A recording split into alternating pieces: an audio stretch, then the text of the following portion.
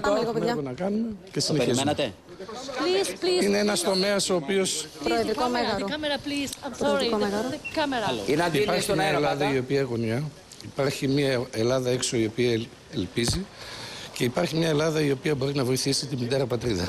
Πότε μιλήσατε με τον Πρωθυπουργό; Αυτά. Πώς σας ενημερώσατε. Χθες. Όλοι χθες ενημερώθηκαν. Βιαστήκατε.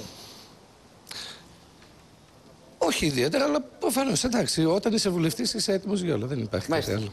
Έχουμε δουλειά. Οι στιγμέ είναι δύσκολε. Ειδικά με τι τελευταίε περιοχέ που έχουμε στη χώρα μα. Και νομίζω ότι είναι ένα τομέα ο οποίο μπορεί να μα βοηθήσει ε, και στη μητέρα πατρίδα. Κάποιοι μιλάνε για κυβέρνηση μικρή διάρκεια. Δεν θα ήθελα να μιλήσω. Δεν θα ήθελα να μιλήσω. Νομίζετε ότι Τέτοια με τη μέρα. νέα σύνθεση τη Ευχαριστώ κυβέρνηση θα πολύ. είναι καλύτερα. Ευχαριστώ πάρα πολύ για όλου σα. Να είστε καλά. Δεν απάντησε στην καρδιά.